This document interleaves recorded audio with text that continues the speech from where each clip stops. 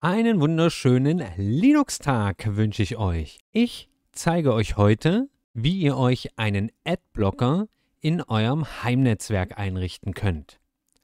Ein Adblocker hat so ziemlich jeder an seinem Rechner im Browser drin. Meistens ist das hier so ein Add-on, nennt sich dann wie in dem Fall hier Adblock Plus. Ich habe hier noch den Privacy Badger noch zusätzlich drin und da gibt es ja noch unzählige mehr. Allerdings, sobald ich zum Beispiel mit meinem äh, Smartphone, zum Beispiel bei einem iPhone oder auch einem Android-Phone, äh, in meinem Heimnetzwerk unterwegs bin, dann funktioniert das wiederum nicht, der Adblocker. Oder auch wenn ich zum Beispiel Spiele öffne oder andere Programme, die Werbung enthalten, dann wird diese natürlich nicht geblockt. Und wie wäre es denn, wenn wir äh, die Werbung einfach überall blocken können. Das kannst du dir bei dir zu Hause im Heimnetzwerk ebenfalls einrichten. Ja, ich zeige das Ganze mal anhand diesem Beispiel. So sieht im Prinzip das ganz normale, reguläre, durchschnittliche Heimnetzwerk aus. Wir haben also einen Router hier in der Mitte. Dieser kommuniziert eben mit dem Internet. Auch die DNS-Anfragen, was das ist, sage ich gleich, gehen ins Internet und das Internet antwortet. Und der Router verteilt das Ganze dann an die Geräte, die eben mit dem Router zum Beispiel per WLAN oder per Kabel verbunden sind. Dazu zählt zum Beispiel hier ein, äh, ganz normaler Computer. Da habe ich jetzt mal eine IP-Adresse schon vergeben. Dann äh, ein Laptop kann das sein oder eben auch ein Tablet oder ein, eben wie hier ein Smartphone. Aber auch Konsolen wie zum Beispiel Xbox oder PlayStation zählen mit dazu, denn die sind in der Regel ebenfalls mit dem Heimnetzwerk verbunden. So, dann schauen wir uns mal an, was ich heute vorhabe.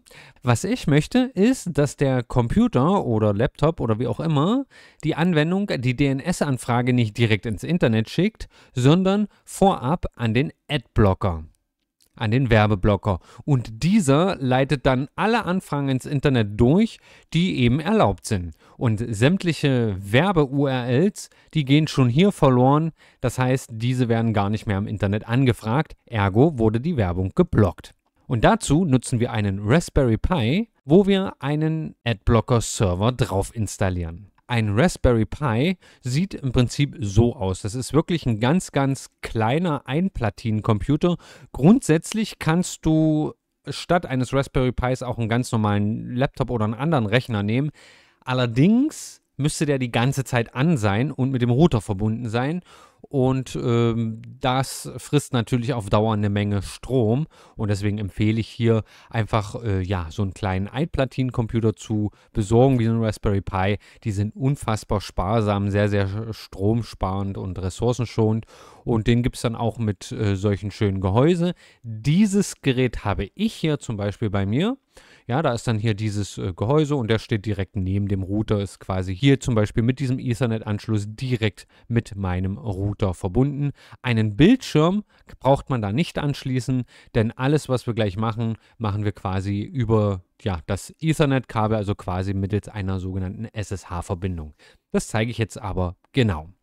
So, mit dem äh, Raspberry Pi wird oftmals in den Paketen mitgeliefert eine ja, SD-Karte. Sollte das nicht der Fall sein, dann müsstest du dir eine Micro-SD-Karte noch besorgen, die du dann entsprechend hier reinsteckst und zwar hier auf der Unterseite, auf der Seite hier, das sieht man jetzt hier auf diesem Bild nicht. Da kommt dann eine äh, kleine Micro-SD rein. Und ich würde sagen, ich stecke jetzt die SD-Karte hier mal in meinen Rechner rein. So, ich habe jetzt eine SD-Karte hier drin unter SDB bzw. SDB1. Da ist also eine ja, FAT-Partition schon drauf. An sich ist die SD-Karte aber leer, da ist an sich nichts weiter drauf gespielt und die ist schon hier eingemountet in diesen Mountpunkt. Das ist aber überhaupt nicht so wichtig. Wichtig ist, ich habe mir eine SD-Karte.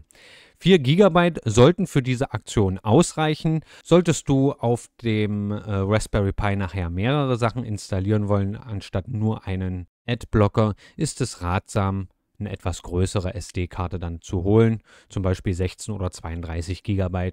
Ich bleibe jetzt hier bei meinen 4 GB, das reicht aus. So, wie kriegen wir jetzt also das äh, Betriebssystem für den Raspberry Pi auf diese SD-Karte drauf? Dazu gehen wir einfach auf raspberrypi.com und dann gibt es den Punkt Software und dann haben wir hier den Raspberry Pi OS Imager. Und den lädst du dir jetzt einfach runter und zwar äh, je nachdem, was du für ein Betriebssystem hast. Zum Beispiel, wenn du Windows nutzt, kannst du hier die ganz einfach die Exe herunterladen und dann kannst du einfach die Exe öffnen. Für macOS gibt es dann das Ganze als DMG-Datei. Wenn du Ubuntu nutzt oder ein Ubuntu-ähnliches System wie zum Beispiel Linux Mint, und ähnliches, dann kannst du es direkt aus den Repositories installieren mit sudo apt install und dann rpi-imager, einfach das äh, kopieren und in, den, in das Terminal rein. Und äh, solltest du zum Beispiel Arch nutzen, so wie ich jetzt hier, dann äh, ist das Ganze auch im Arch User Repository verfügbar. Das kann ich hier mal ganz schnell schauen.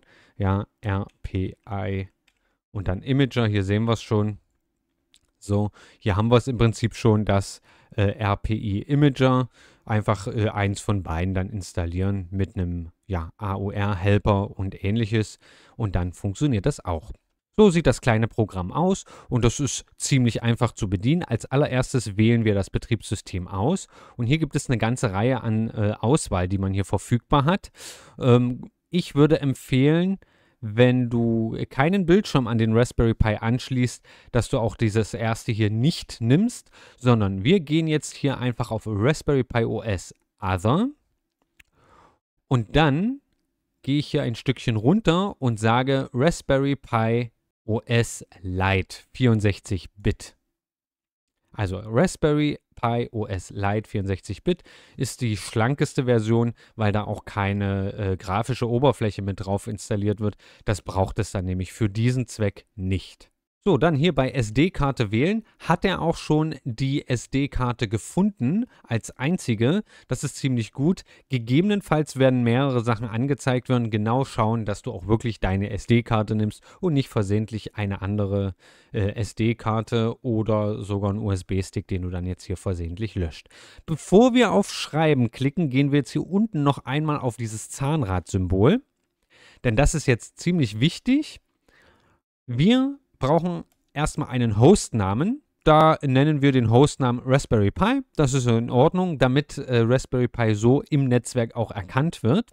Und dann unbedingt SSH aktivieren, denn SSH brauchen wir jetzt gleich. Und dazu nehmen wir ein Passwort zur Authentifizierung. Wir könnten auch ein Public Key erstellen, aber wir bleiben jetzt, äh, wir machen es einfach und äh, machen das Ganze über ein Passwort. Und dann müssen wir hier noch einen Benutzernamen und ein Passwort setzen. Ich nehme denselben Benutzernamen wie hier auf meinem System. Das ist der Benutzername Typ und vergebe ein sicheres und kompliziertes Passwort für den Benutzer Typ. So, dann gehe ich hier auf Speichern und dann sind wir im Prinzip schon fertig und können jetzt auf Schreiben klicken. So, er warnt mich dann nochmal, ich sage ja. Und jetzt heißt es einfach abwarten. Gegebenenfalls musst du hier auch nochmal ein Passwort eingeben. Und jetzt heißt es einfach abwarten, bis der Schreibvorgang erledigt ist. So, die Installation des äh, Raspberry Pi OS auf die SD-Karte ist nun beendet und sie, wir können die SD-Karte im Prinzip entfernen. Das werde ich jetzt auch einmal machen.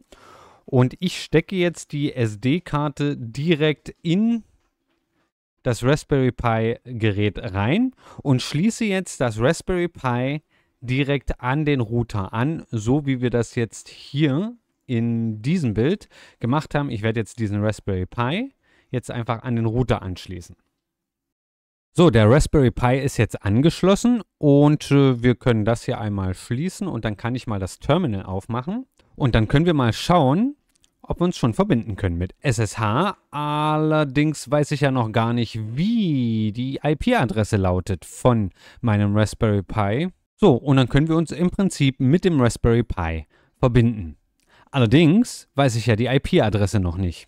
Und deswegen gehe ich jetzt einfach direkt mal in meinen Router rein. So, hier ist meine Fritzbox und dann einmal in den Router rein. So, und hier unten finden wir dann auch äh, schon die Geräte und unter anderem das Raspberry Pi. Und wenn ich hier mit der Maus drüber fahre, sehe ich ganz unten links die IP-Adresse. Es ist im Prinzip die IP-Adresse mit der 21 hinten. Und das deckt sich zufällig wunderbar mit der IP-Adresse, die äh, hier angegeben ist, also die 21.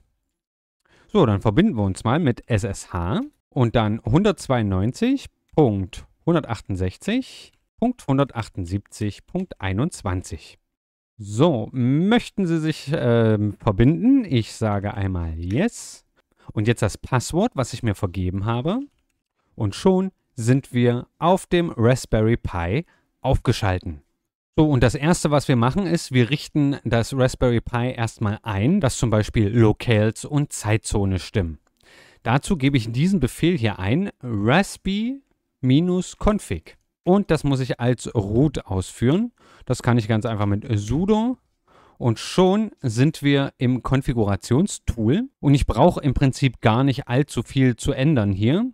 Wir gehen jetzt einfach auf die Lokalisation. Das ist ziemlich wichtig, denn hier kommen jetzt die Regionaleinstellungen. So, da werde ich jetzt hier einfach mal DE suchen so, hier haben wir DE und da wählst du dann im Prinzip aus, welche Lokalisation du brauchst. Und zwar nehme ich hier DE UTF-8. Sehr schön. Tab und OK. So, dann, äh, ja, machen wir einfach Tab und OK. Und dann warten wir jetzt kurz, bis er die Locales geschrieben hat. Sehr gut. So, dann gehen wir nochmal in die Locales rein und gehen zum nächsten Punkt, nämlich die Zeitzone. Also Timezone. Und hier wähle ich Europa und dann Berlin aus. Da ist Berlin. Und damit sind wir im Prinzip schon fertig. Und damit können wir hier auf Finish. Gut, und äh, der hat jetzt nur versucht, Raspi-config zu updaten. Wir können jetzt aber gleich nochmal ein vollständiges Update durchführen. Und das machen wir ähnlich wie bei Ubuntu, wie man das so kennt, mit sudo apt update und dann gleich hinten ran zwei Unzeichen und dann sudo apt full minus upgrade und Bindestrich y, dass er mich nicht nochmal fragt. So, das Update ist jetzt durch und unser Raspberry Pi ist auf dem aktuellsten Stand. Jetzt wird es Zeit für den Adblocker. So, als Adblocker selber nutzen wir AdGuard. Und AdGuard ist ein ziemlich mächtiges Tool, wo ich eben die Möglichkeit habe, komplett Werbung zu sperren, eine Kindersicherung einzurichten, ich kann bestimmte Seiten sperren, Tracking kann ich verhindern und vieles, vieles mehr. Das Ganze installieren wir auf dem Raspberry Pi mittels Docker, quasi als Container. Und damit wir das überhaupt installieren können, brauchen wir erstmal Docker. Und dazu machen wir sudo apt install docker. Docker.io. Einmal ja, bestätigen. So, Docker ist installiert und ein kleines Programm brauchen wir noch und zwar Docker Compose. Wir werden das Ganze über Docker Compose installieren. Das finde ich immer ein kleines bisschen einfacher, als äh, im Prinzip alles in die ja, Kommandozeile reinzuschreiben. Und äh, ja, das machen wir genauso mit sudo apt install docker-compose. So, jetzt wo wir das Ganze installiert haben, empfehle ich den Raspberry Pi einfach nochmal neu zu starten. Und das Ganze machen wir mit sudo reboot. So, dann ist die Verbindung geschlossen. Und wir können im Prinzip nochmal versuchen, uns äh, einfach einzuloggen. So, jetzt sind wir wieder drin. Und mit sudo docker ps sehen wir, okay, das hat funktioniert. So, und damit wir aber nicht äh, immer äh, sudo eingeben müssen, gibt es eine Gruppe namens Docker und wir können diese Gruppe einfach dem Benutzernamen entsprechend hinzufügen. Das äh, machen wir ganz einfach mit sudo und dann usermod minus add group, also AG. Dann äh, die Gruppe heißt Docker und ich möchte sie mir, also dem Nutzertyp, hinzufügen. Denn wenn ich jetzt hier mal schaue, haben wir hier die Gruppe Docker drin. Und jetzt kann ich im Prinzip äh, Docker PS so eingeben, ohne dass ich jedes Mal sudo nutzen muss dafür. Gut, so, jetzt geht es ins Eingemachte. Docker funktioniert quasi tadellos, kommt keine Fehlermeldung. Und jetzt erstellen wir erstmal einen Ordner, denn wir befinden uns jetzt hier im Home-Ordner und da ist nichts drin, außer ein ja, Bash, äh, ein paar Dot-Files, ein paar Konfigurationsdateien. So, äh, das machen wir mit mkdir Und dann nennen wir das Ganze einfach AdGuard. Das wird jetzt unser ja, Verzeichnis. Und dann wechseln wir direkt in dieses Verzeichnis rein und erstellen jetzt hier drin auch nochmal zwei äh, Ordner, nämlich einen Arbeitsordner und einen Konfigurationsordner. Denn den braucht nachher AdGuard, um ja, zu arbeiten. Und das machen wir mit mkdir. Und da wir zwei Ordner erstellen, können wir das Ganze im Prinzip in geschweifte Klammer machen. Ich brauche einmal äh, den Ordner Work der kann im Prinzip heißen, wie, man, wie er möchte. Also das kannst du dir jetzt aussuchen. Das ist jetzt nicht festgelegt, dass der so heißen muss. Wichtig ist nur, dass wir nachher wissen, welcher Ordner ist der Arbeitsordner und welcher ist zum Beispiel der Config-Ordner. Und äh, ich nenne die einfach Work und Config. So. Und mit ls sehe ich, habe ich hier jetzt die beiden Ordner Config und Work. Und hier in den AdGuard-Ordner lege ich jetzt eine Datei an, die nenne ich docker-compose.yaml. Das ist äh, tatsächlich festgelegt, die muss dann jetzt auch so heißen und die bearbeiten wir dann auch mit nano docker-compose.yml. So, jetzt sind wir hier bei Nano drin, das ist quasi so ein Texteditor. Und hier schreiben wir jetzt im Prinzip eine Anweisung rein, wie Docker AdGuard ja aufbauen soll, wie der Container nachher aussehen soll. Zuallererst müssen wir eine äh, Docker Compose File-Version festlegen. Die äh, File-Version oder die Compose-File-Version ist aktuell zum Zeitpunkt des Videos die Version 3.8.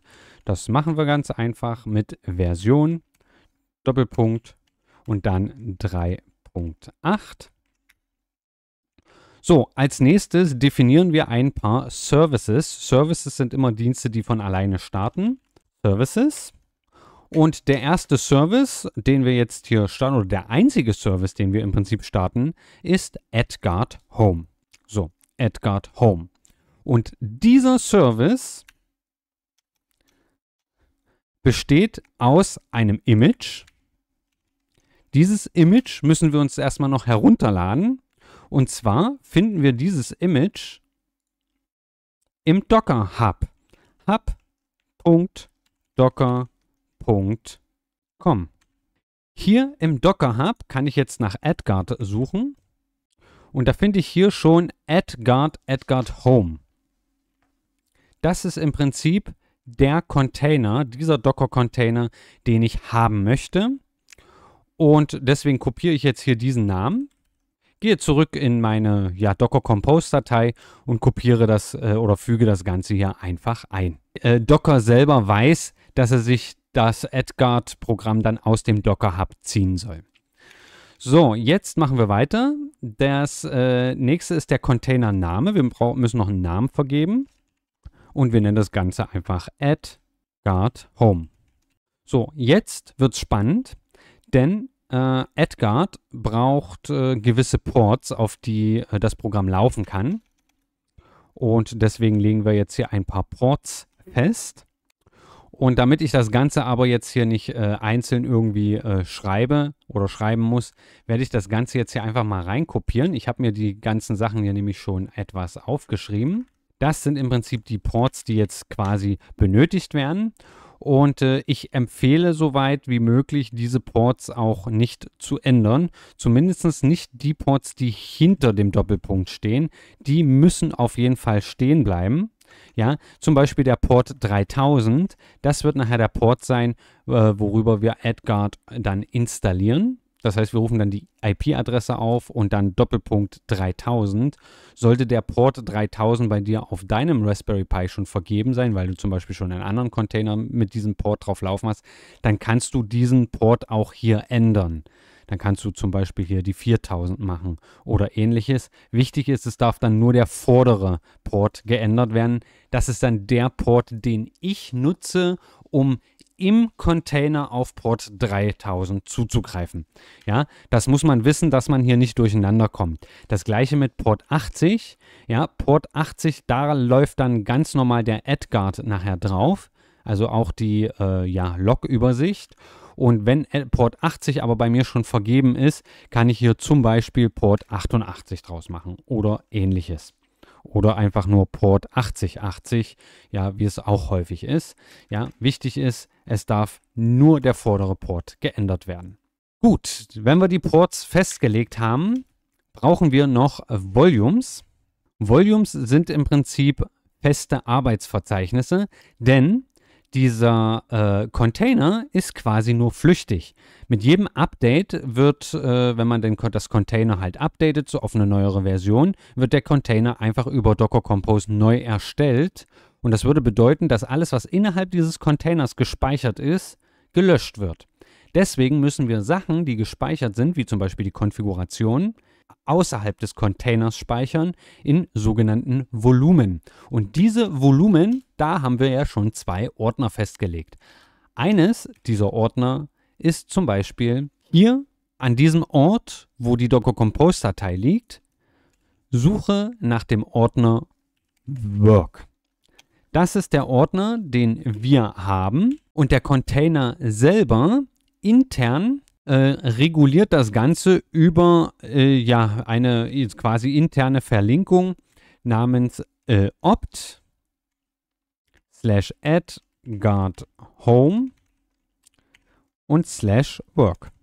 So heißt der Ordner innerhalb des Containers und da wird im Prinzip unser Work-Ordner einfach reingemountet nachher. Das bedeutet dann, sobald ich den Container neu installiere oder wenn ich den Container lösche und ihn dann wieder neu installiere, bleibt alles das, was in den Work-Ordner oder nachher auch in dem Config-Ordner drin ist, bleibt erhalten, weil dann opt, Edgard Home und Work dann einfach in unser erstelltes Verzeichnis reingemountet wird. Denn unsere Verzeichnisse, die werden ja nicht gelöscht. So, das gleiche machen wir jetzt noch mit slash config. Da haben wir ja unseren Config-Ordner. Und auch hier ist es opt slash add guard home slash und dann config.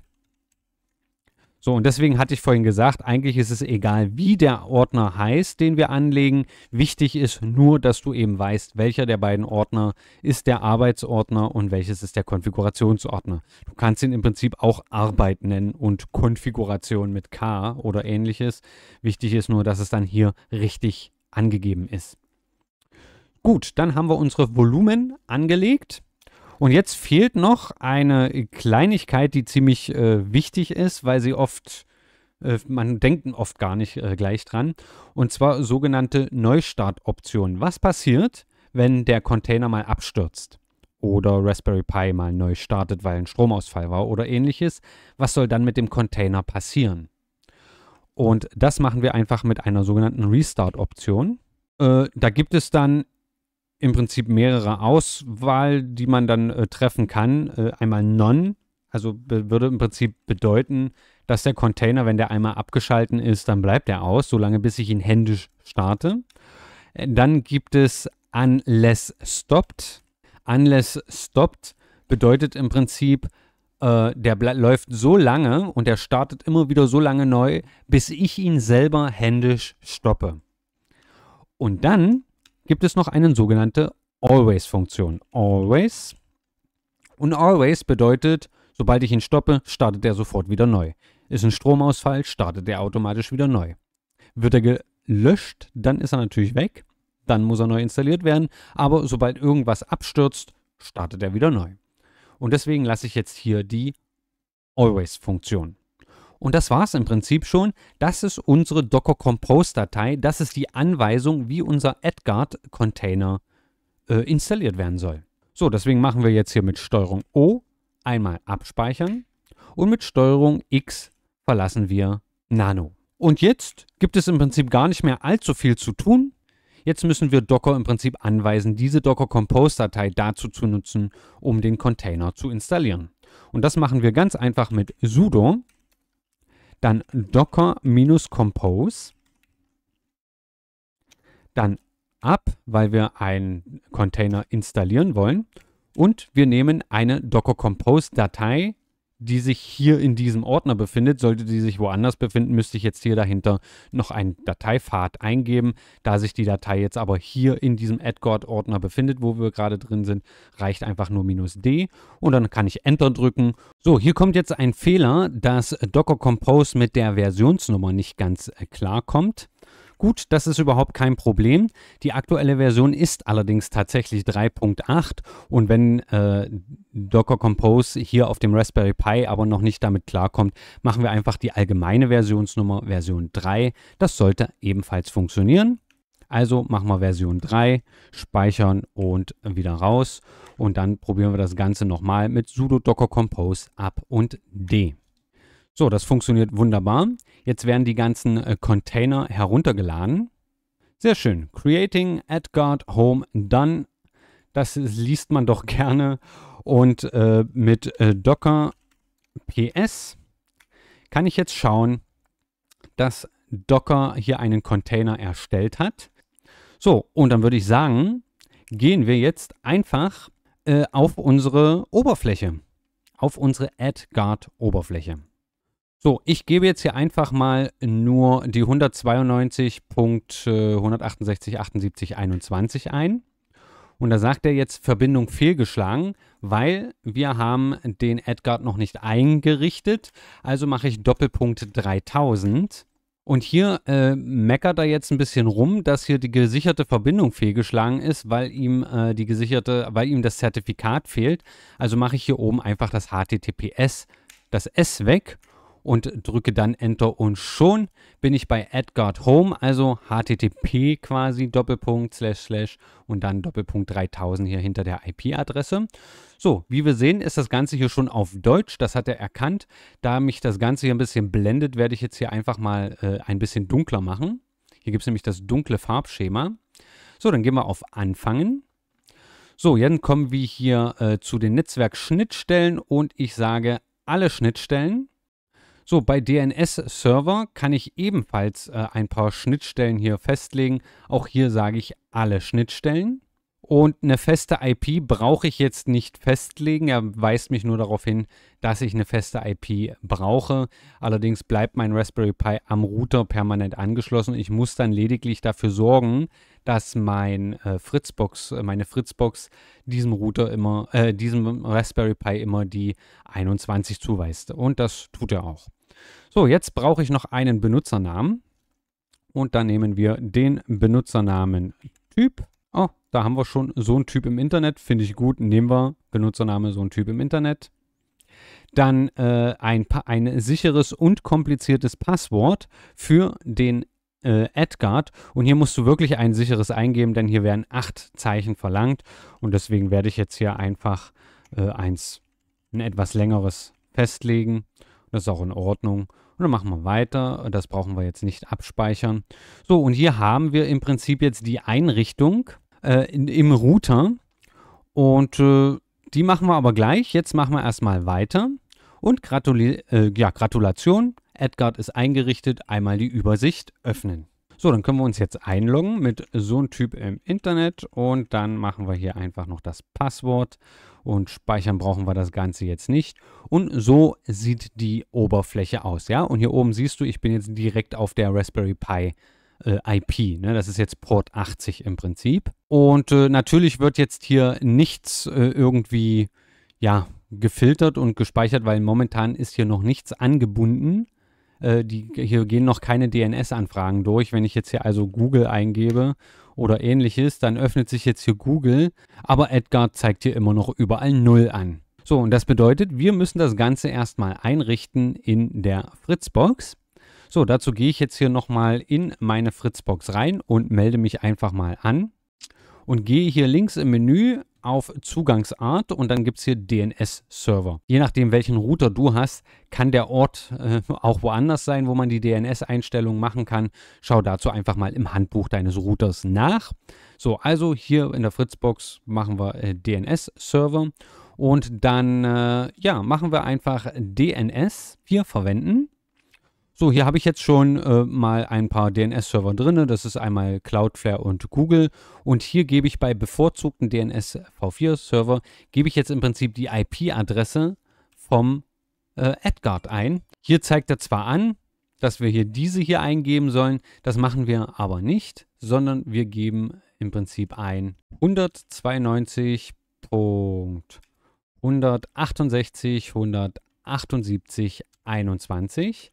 Das gleiche hier unten nochmal. Ich möchte wirklich auch äh, wirklich alles äh, an DNS-Anfragen durch meinen äh, Raspberry Pi, also durch meinen AdGuard durchleiten.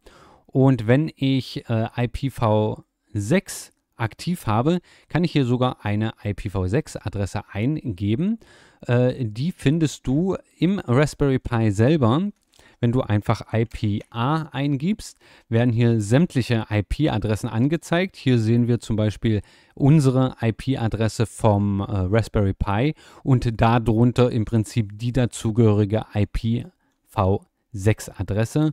Und die nehmen wir auch. Einmal kopieren und dann hier einmal einfügen. So, das wäre dann die IPv6-Adresse. So, das Ganze dann speichern. So, ich muss jetzt ganz schnell an meinen Router gehen und da einfach einen Knopf drücken. So, dann einmal OK. Und jetzt sind die DNS-Einträge äh, hier auch gespeichert. Alles, was jetzt Internetanfragen sind, wird jetzt direkt durch den, Ad, durch den AdGuard geroutet. Und das Ganze werden wir jetzt einfach mal ausprobieren, ob das auch funktioniert. Dazu gehen wir jetzt nochmal in die Übersicht. Und jetzt öffnen wir ganz einfach mal YouTube. So, YouTube ist jetzt geöffnet. Dann kann ich jetzt hier einmal Statistiken aktualisieren und hier sehe ich jetzt schon 17 DNS-Anfragen, obwohl ich nur YouTube einmal geöffnet habe. Und hier sehen wir dann auch schon, was an DNS-Anfragen hier alles durchgelaufen ist. Das ist nicht zwangsläufig alles Werbung.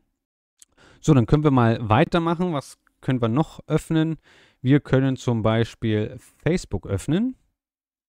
Sehr gut, Facebook ist geöffnet und hier bei den Statistiken sehe ich hier 66 DNS-Anfragen haben wir jetzt. Und dann probieren wir mal noch heise.de. Sehr schön. Dann äh, jetzt hat äh, heise.de enthält ja auch viele Werbebanner. Einige sind zwar hier direkt durch mein Adblock Plus schon geblockt, Allerdings gehen ja dann trotzdem die Anfragen mit durch und dazu sind jetzt zum Beispiel hier Upscore zum Beispiel oder Camelun hier zum Beispiel. Diese sind jetzt quasi geblockt worden. So, dann schauen wir uns jetzt nochmal hier den AdGuard nochmal genauer an.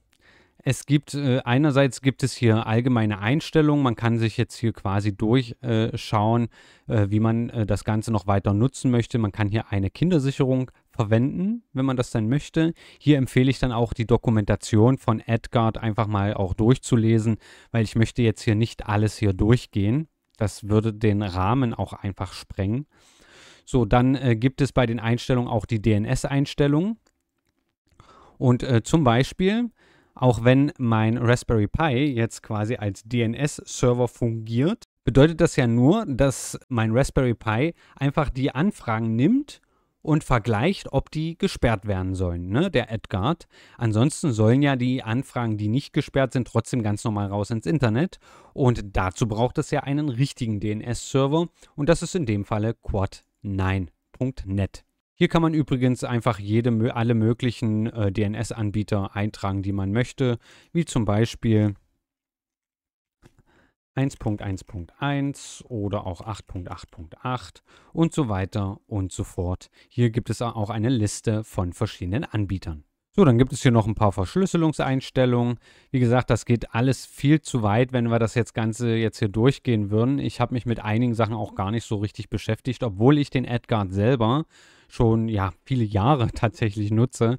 Der äh, steht bei mir tatsächlich hier unterm Tisch, der äh, kleine Raspberry Pi und läuft so munter vor sich hin schon seit ein paar Jahren und blockt mir im Prinzip meine äh, Werbung hier auf meinen Rechnern. So, was aber ziemlich äh, interessant sind, sind die DNS-Sperrlisten. Äh, und hier gibt es im Prinzip schon zwei, ja, Listen, die äh, eingetragen sind. Einer davon ist allerdings nur aktiv und das ist im Prinzip so ein AdGuard Standard DNS. Filter und hier kann ich dann noch die AdGuard Default Blockliste ebenfalls noch aktivieren und äh, hier ist die Adressleiste, da kann ich im Prinzip draufschauen, was hier alles geblockt werden soll. So, allerdings sind das natürlich nicht die, äh, die einzigen Blocklisten, die es eben so gibt weil es gibt ja unzählige äh, mehr und es muss ja auch regelmäßig aktiviert werden. Und dazu empfehle ich äh, einen GitHub-Account, den der ein oder andere sicherlich schon kennt. Und zwar ist das der GitHub-Account rpylist. Das ist der Account von äh, Semper-Video. Semper-Video sollte wirklich jeden ein Begriff sein.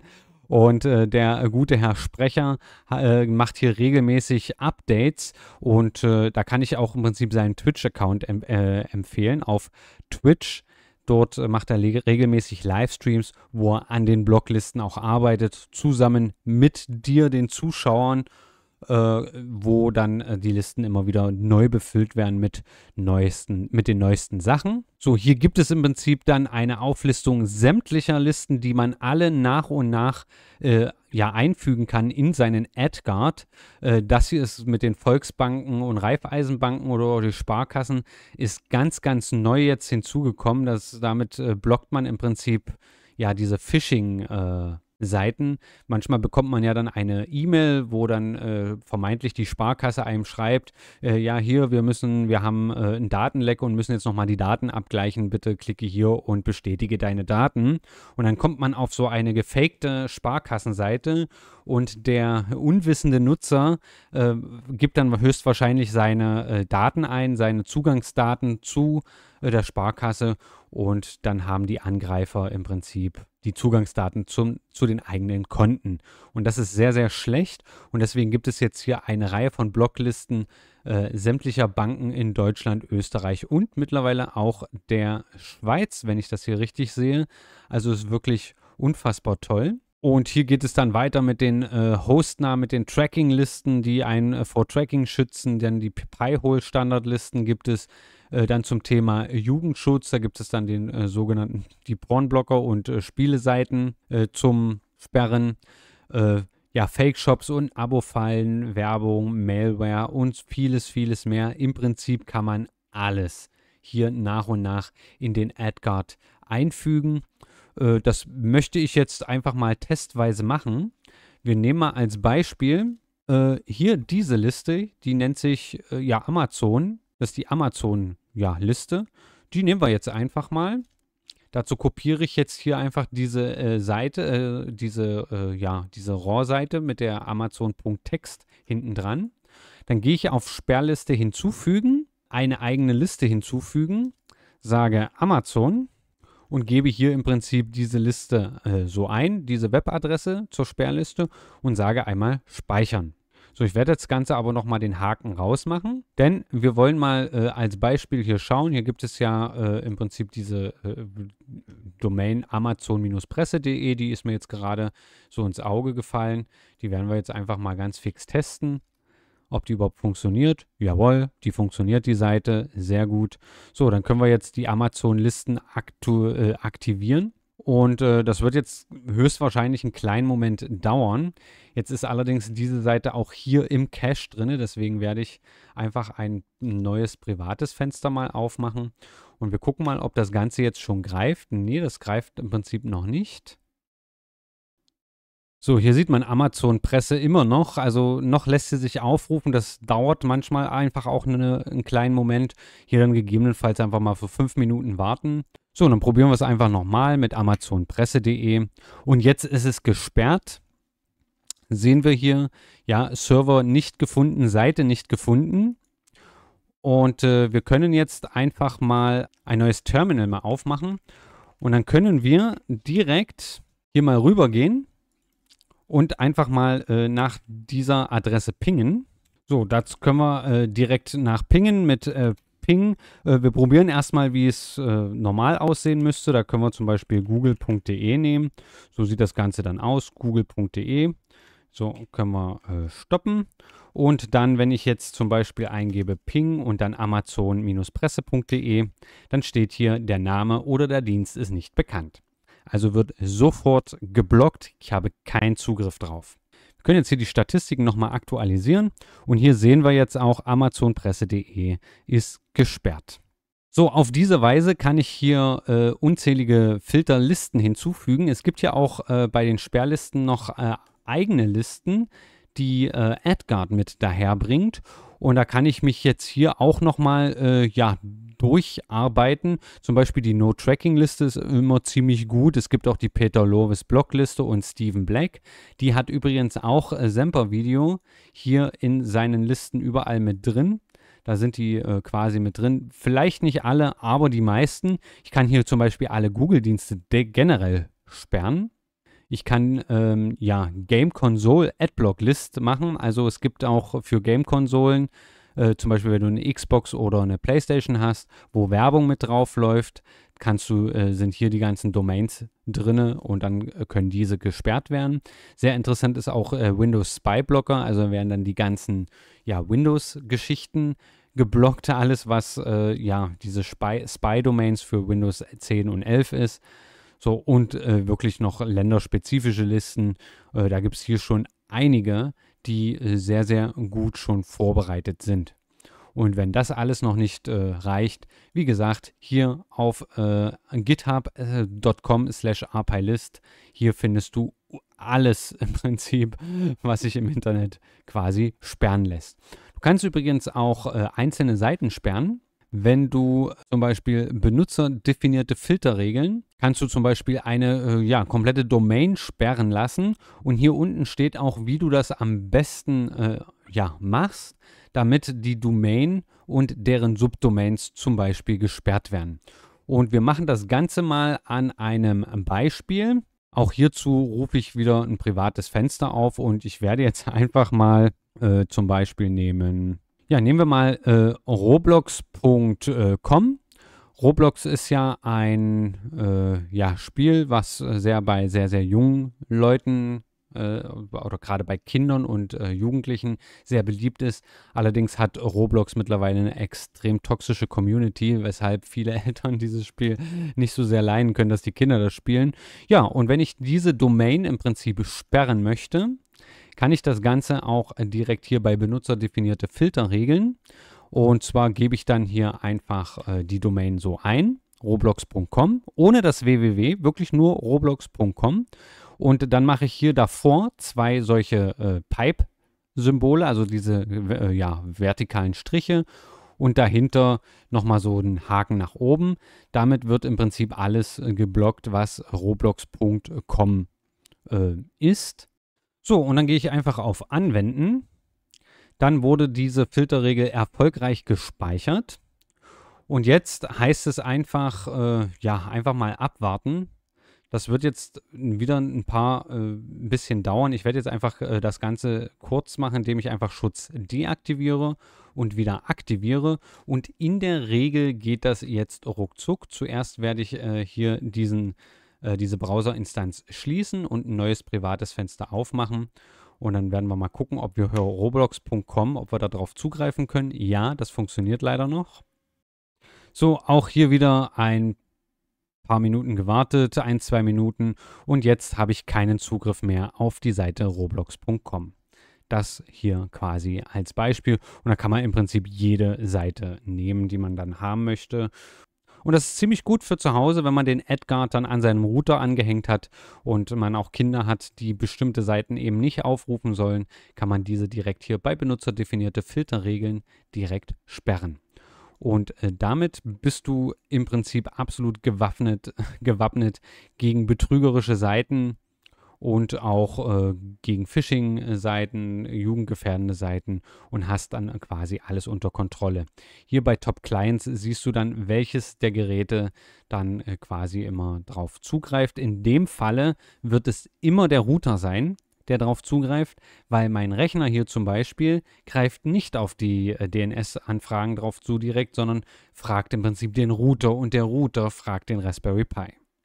Du findest nicht nur alle Links zu äh, den Blocklisten und zu AdGuard, sondern auch die komplette Docker Compose Datei unten in der Videobeschreibung, sodass du quasi einfach äh, kopieren und einfügen kannst und direkt loslegen kannst. Werde ich jetzt alles in die Videobeschreibung reinpacken und äh, von meiner Seite war es das. Ich bin ja quasi jetzt hier der Letzte noch in der Runde zum äh, Linux-Tag. 2023.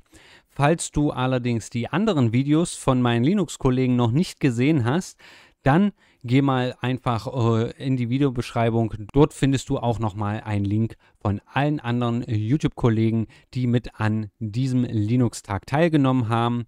Ansonsten einfach auch auf die Webseite linuxguides.de und dann Schrägstrich Linux-Tag 2023. Und dann bist du hier auf dieser Seite und findest dann im Prinzip äh, ja alle Videos. Zum Zeitpunkt dieser Aufnahme sind die Videos natürlich noch nicht da, deswegen hat äh, Jean von Linux Guides erstmal hier nur Platzhalter-Videos reingemacht. Aber da sind dann die Videos von den äh, YouTube-Creatoren dann drin. Einmal Michel Franken ist mit dabei, Linux Guides natürlich selber, Pinguin TV ist mit dabei. Und äh, Hauke von Nicht der Weisheit letzter Schluss ist mit dabei und natürlich meine Wenigkeit. Gut, das soll es gewesen sein. Äh, wenn dir dieser Linux-Tag gefallen hat, dann lass es doch einfach uns allen wissen, am besten irgendwo in den sozialen Medien, Twitter, Mastodon, äh, auch hier bei YouTube und das Ganze unter dem Hashtag Linux-Tag 2023. Ich wünsche euch noch einen schönen Tag. Wir sehen uns beim nächsten Video wieder. Macht's gut, bis dahin.